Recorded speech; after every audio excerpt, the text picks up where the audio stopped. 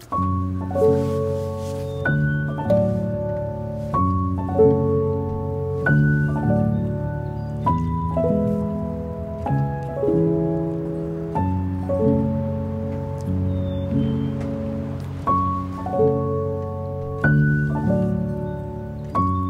is spring. The weather is changing. And, uh, you know, for someone who lives in Canada and spends eight months of the year with snow, this is a lovely break. Thought we'd take it outside today because we got three puzzles we're looking at, all from Karakuri. I was lucky enough to bid on them and win them because they do a lottery because they only make so many, right? So you have to get in while you can. And I've got three. We got a doctor and his friend, which is this cool looking robot, along with like this sort of scientist on his shoulder. We got six CO stitches, or six CO stitch, sorry, by Hideaki Kawashima. And the last one we're gonna look at is called My Place, uh, which is a couch.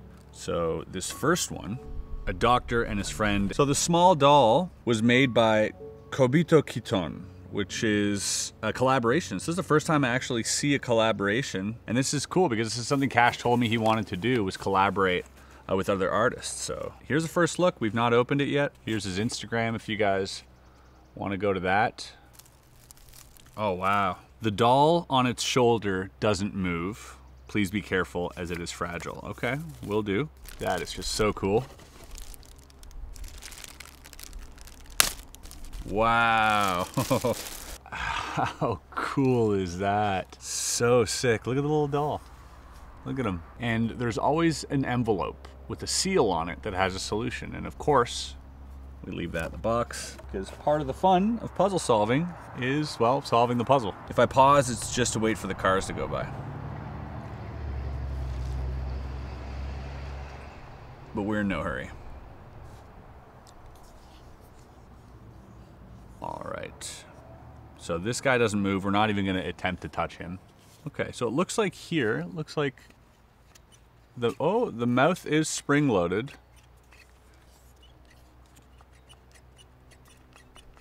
Ooh, and this whole top part seems to shift. Let's read a little bit about what this says here. It says made of Japanese walnut, wenge, magnolia, and mizuki. Those are the type of woods used. A kind-hearted super robot invented by an old doctor. And that's what we're given.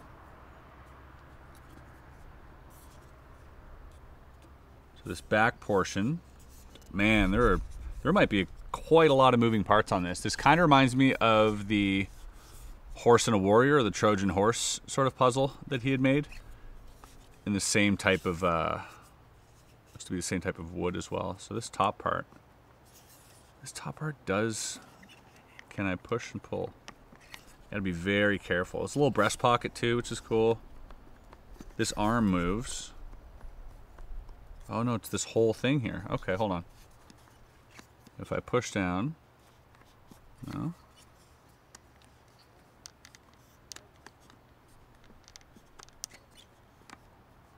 Okay, so both of these come down. I don't know if anything happens on the lower part of this robot's body, but there does seem to be My guess is that you press this in and this is going to release some mechanism that slides one of these panels. Uh,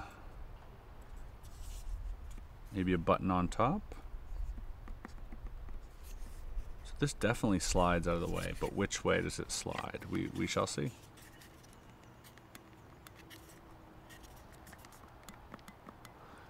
Alright, it's not going back and forth here. That's not moving if you see me swatting. There's a bunch of flies. This is fly season.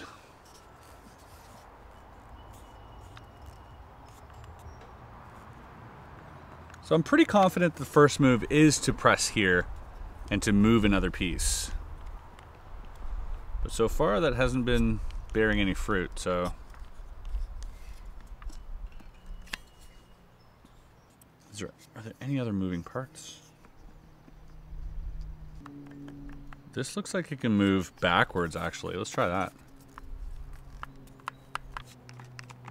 This one looks like it goes down. So what's the first move here? Is it the head or is that the last move? Or the front maybe? This bottom panel?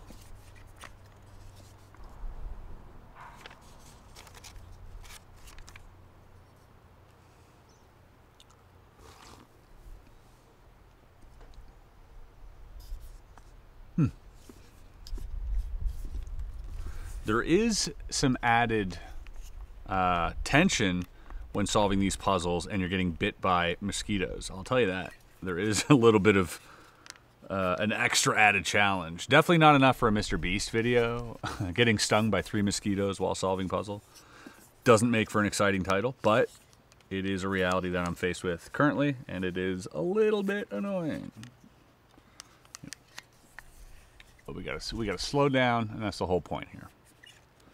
Maybe by slowing down, the bugs will leave us alone. So this isn't moving. The front part is not moving. The side part's not moving. Other side part's not moving. Back is not moving.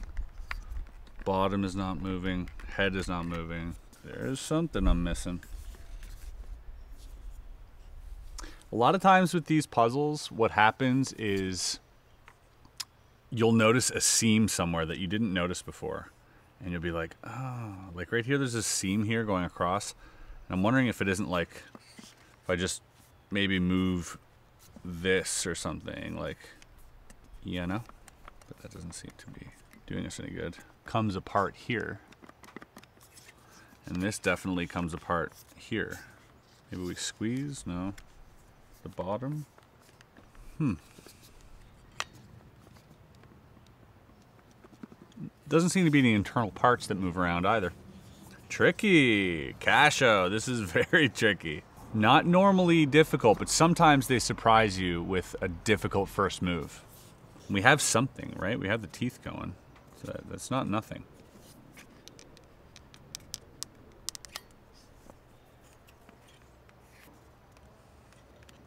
Really feel like this side here is the side to go.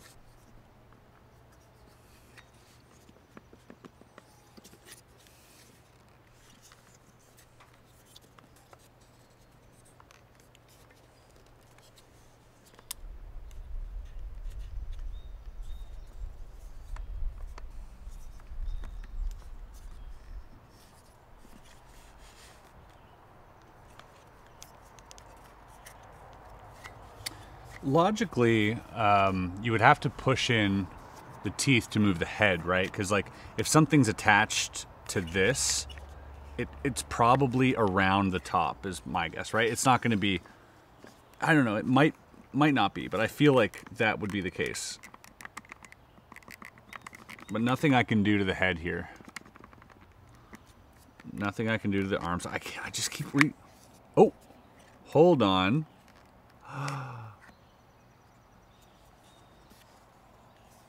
Oh no! He's angry now.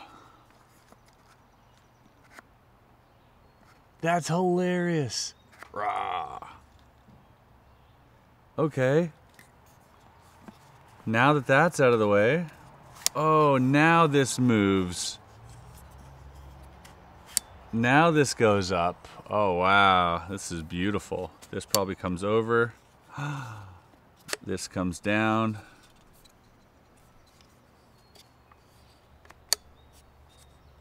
Ah, what now? The front?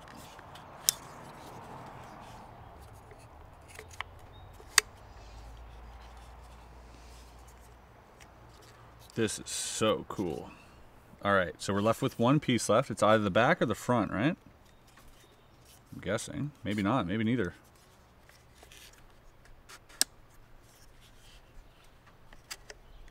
One compartment left. It's got to be this. It's got to be something here, right?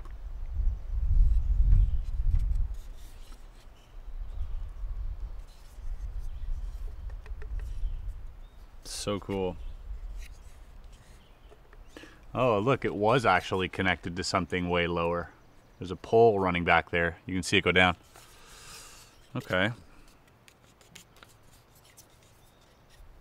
This one can't slide in any direction. No, it's only that way, this way. The top, logically, would need to come off, right?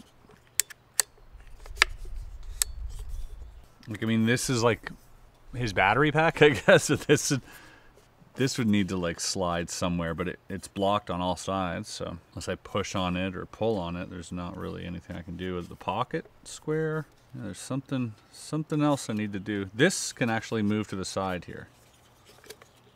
No, it can't because it's holding. It's held onto that, so I can't slide that this way either. Huh.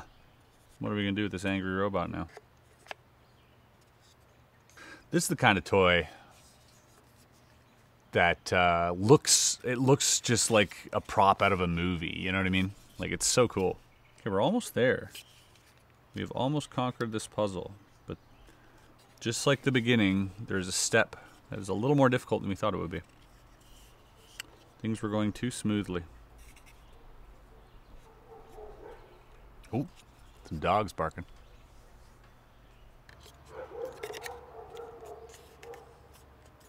Hmm.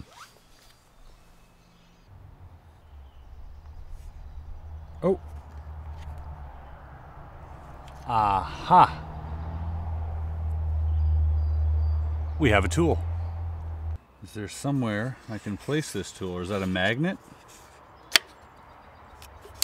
Is that used to like, oh, can this come out? Oh, this can come off now. Oh, wow. Little gears in there. Aha. Uh -huh. And now we have our secret compartment in his backpack.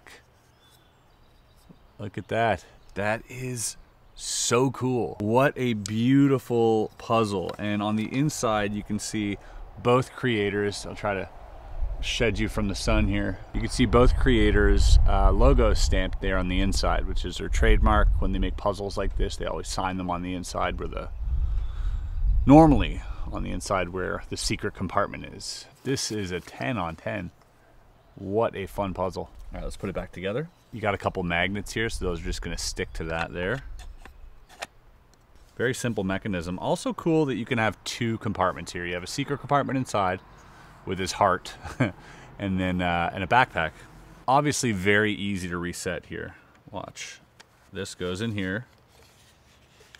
Boom. And we just slide everything back.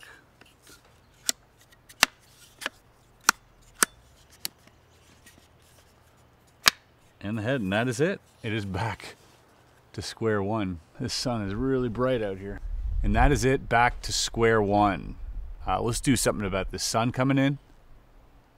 And uh, let's check out the next puzzle.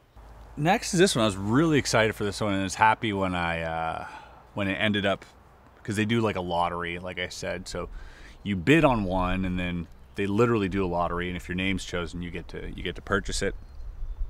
Uh, but this one is by Kakuda Yoh. Uh, but this one always animals. Uh, I've noticed Kakura, and and really about stories as well. So this story here, first of all, this is made of keyaki, ancient katsura, which is pretty cool, and a Japanese Torreya. I don't know what any of those are, but uh, it sounds pretty epic. and also, it says, even if you think this is your spot, I'm not giving it up. And so that is what we're dealing with here. We're dealing with a stubborn cat. Oh man, I can already tell I love this one.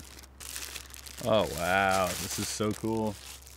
Such a treat getting to do this outside for once. This is really neat. Check that out. There's the cat. the cat even lifts its head. Uh, this should not be a difficult uh, puzzle. And there is the logo.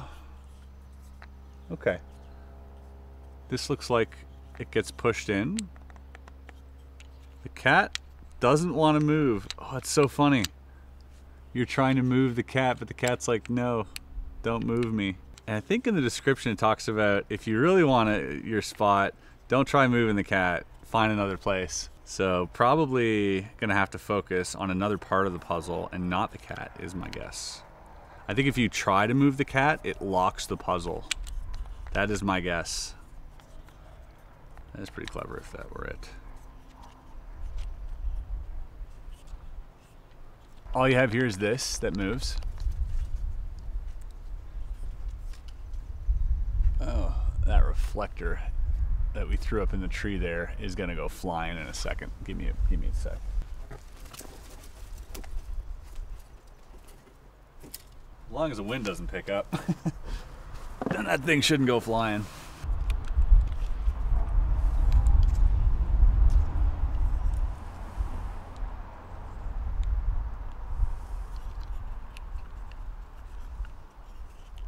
I love that they used metal as well. You rarely see metal components in these puzzles, but this is uh, this is cool. They're they're branching out. They're doing different things. I like it. They're collaborating.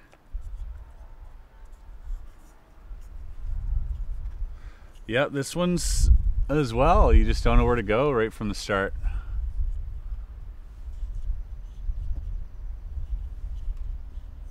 Huh.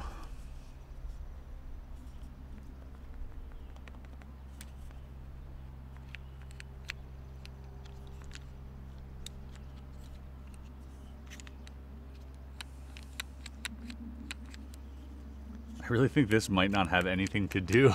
it's just like maybe a red herring.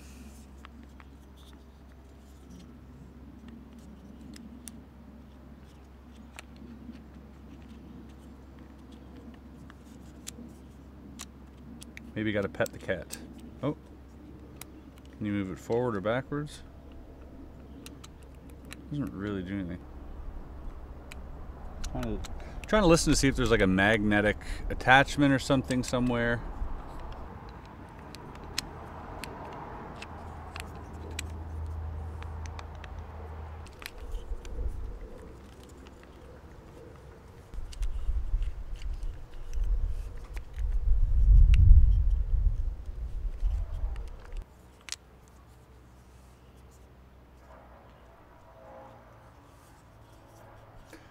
Yeah, not much to go on here.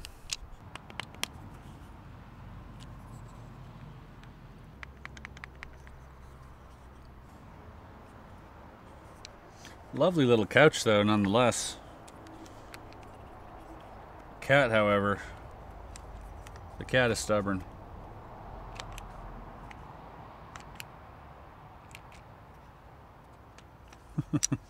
oh! What happened here? Ah. Can the other side slide as well? Ah, it can. Ah, then it lifts up. No? Ah, the drawer's here. Ah, how cool. So yeah, the goal was not to get the cat off. The goal was just to open the drawer and find yourself another seat. Very cool. So that uh, cat actually does hold that final drawer, as you can see there. Very simple puzzle, but to find it, you know, is takes a minute, as you can see.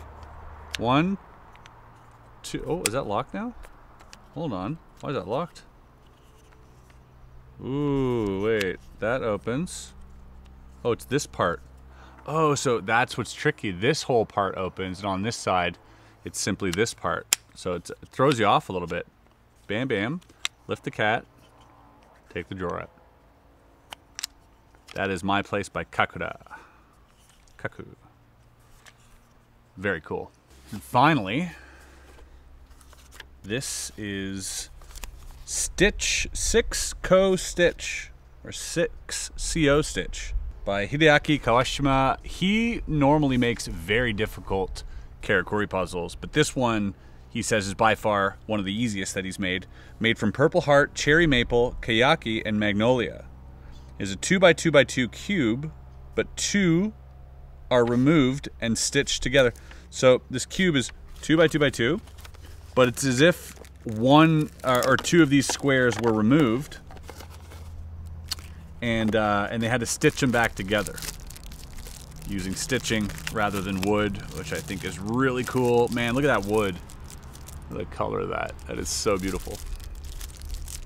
That's that's another thing about this company is that all the colors that you're getting are the original color of the wood. They're not painting them or anything, right? This is like that's what the woods are. Okay, so one thing that he did mention about this was like his have little to no tolerance, meaning if there's a slight variation in temperature or uh, or anything like that, or like humidity, uh, the box won't open the same. But that also means that this is probably going to be very satisfying once you solve it.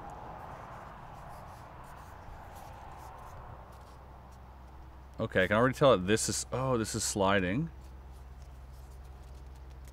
Do these slide out at the same time? Oh my god. Do all of them slide out at the same time?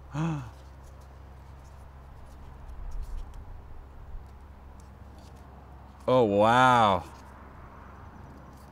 Wait a second. Oh wow, that is that is so cool. Have to be careful here. These pieces seem a little loose. Oh my goodness. Look at that. And so all of these come off. and they're all filled with tiny little compartments.